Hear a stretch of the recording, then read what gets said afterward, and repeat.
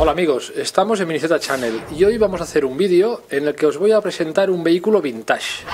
Vamos a hablar del Tamilla GT, es un Tamtec, ¿eh? serie Tamtec de Tamilla, sabéis que son a escala 1.12. Pues bien, es un Tamilla Tamtec GT01. Es un chasis de coche de pista, de coche de carretera, no es un buggy. La gama Tamtec eh, incluye coches ya sean eh, todoterreno, la familia GB01, o la familia en este caso de coches de carretera, eh, on-road y off-road le llaman, pues el on-road es el GT01, ¿no? que es este modelo de aquí. Es un coche, como os decía, a escala 1.12, puede parecer un 1.10, pero si os fijáis, si lo comparamos con nuestro eh, coche de Atomic, el, el VM2, que este sabemos que es un 1.10 reducido, ¿eh? pues eh, podéis ver, por ejemplo, mira, os lo voy a poner así para que veáis que la distancia entre ejes es prácticamente la misma. Sí que la carrocería es un pelín más estrecha, si los comparáis a este nivel, es un pelín más estrecha, pero podríamos decir que es un coche de las mismas dimensiones. Esto está considerado un 1.12, esto está considerado un 1.10 Mini, el, M-Size de, Tamilla también, ¿eh? los chasis M de Tamilla, el Mini Touring.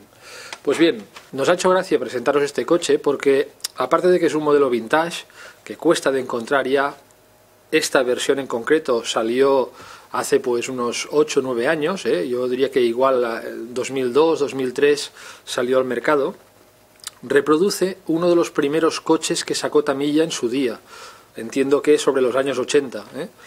Era un, coche con una carrocería de Porsche 911 a escala 1.12. Han hecho la misma carrocería, eh, no rígida, la han hecho en Lexan, pero de muy buena calidad y con algunas piezas en plástico rígido, como es el alerón. Fijaros que tampoco tiene los soportes de carrocería famosos que las hacen más feas.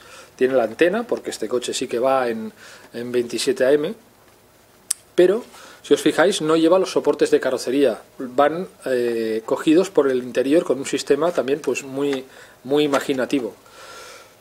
Como os decía, reproduce uno de los primeros coches que sacó Tamilla, muy básico en ese día. Aquí han hecho un chasis totalmente nuevo y rediseñado. Eh, le han puesto la misma carrocería con la misma estética que en los años 80, pero le han puesto una mecánica mucho más actual y es lo que os quería enseñar. Si os fijáis, bien, la carrocería es ligera, pero lleva esta especie de, bueno, pues de, de, soportes especiales, ¿eh? os la pondré aquí para que la veáis de cerca, y lleva los postes hacia el interior, ¿eh? luego veréis cómo queda sujetada. Y este es el chasis, el muñeco que queda cogido aquí, sabéis que Tamilla cuida muchísimo la estética y ha puesto un muñeco escala 1.12, no es escala 1.10, parece un niño dentro de un coche 1.10. ¿eh? Y fijaros en el chasis, es un coche tracción trasera con diferencial, lleva un motorcito de los que utilizábamos, yo le cambié el motor y monto uno de los motores que utilizábamos en los coches 1.18, para no montar el motorcito de serie que es un poco, es un poco de juguete. ¿eh? Fijaros la curiosidad de los amortiguadores. Estas piezas que veis azules son opciones que le añadimos, pues bueno, le pusimos amortiguadores metálicos, eh, disipador de motor y en este caso eh, el sistema de bieletas de suspensión delantero es lo que nos llamó la atención. ¿Veis cómo trabaja? Os lo enseñaré de cerca también para que veáis cómo funciona la suspensión de este coche. Todos los reenvíos de dirección y trapecios superiores son regulables, o sea que podemos jugar con las geometrías de este coche.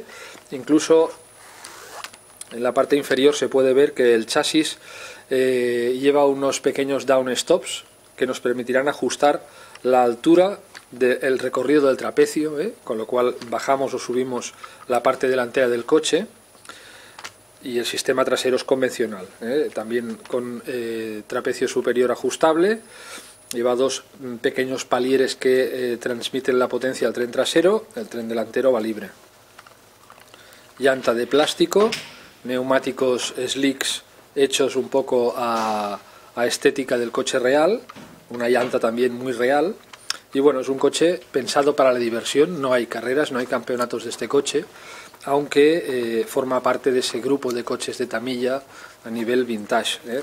Aquí os enseñaré cómo va ubicada la batería, que se puede poner y sacar eh, sin tener que sacar la carrocería del coche. La, batería iría en esta posición.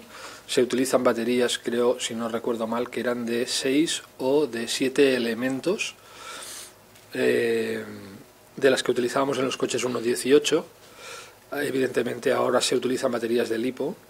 Buscas una batería que quepa en, este mismo espacio y alimentas el coche con lipo. Y bueno, los compañeros que lo tienen, todos ellos ya montan eh, baterías y bueno baterías de lipo y motores brushless ¿eh? mm, se pueden encontrar motores pues para coches a escala 1.18 por ejemplo que para la potencia que dan eh, son más que suficientes para este modelo voy a cerrar bien la trampilla que sostiene la batería.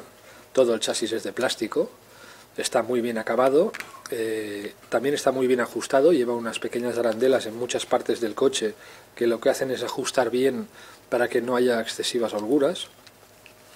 Y bueno, como curiosidad, pues este sistema inboard de amortiguadores, en lugar de llevarlos en una torreta delantera, los lleva dentro del chasis. Os enseñaré ahora de cerca cómo va montada la carrocería para que veáis este, cómo se montan los soportes interiores, ¿eh? podéis ver aquí.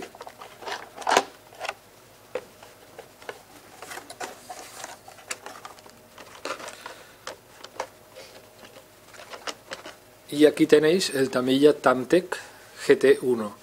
Por cierto, eh, aunque sean difíciles de encontrar y aunque prácticamente nadie eh, produzca opciones para este modelo, sí que podéis ver en nuestra web eh, que hay un apartado Tamilla GT01 o GB01 en la que hay piezas para la gama Tamtec, sobre todo para los todoterreno, pero que algunas de las piezas, lo que es la caja de transmisión, lo que es eh, las manguetas traseras, lo que es el soporte de los ejes de suspensión, pues bien, algunas de estas piezas son compatibles tanto para el buggy como para la versión Touring, la versión de coche de carretera.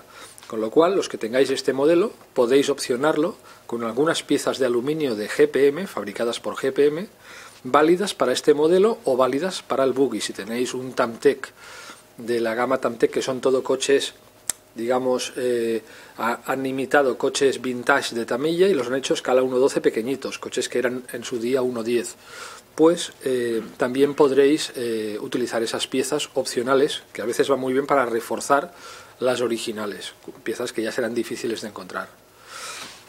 Espero que os haya gustado este modelo vintage, ya tenemos otro para la colección. Eh, si es así, le dais al me gusta. Si no lo estáis, suscribiros a nuestro canal para estar al día de todas las informaciones que publicamos y eh, hacednos llegar los comentarios que os surjan eh, a través de eh, este mismo vídeo. estaremos en contacto con vosotros y os contestaremos allí mismo. Nos vemos en el siguiente vídeo.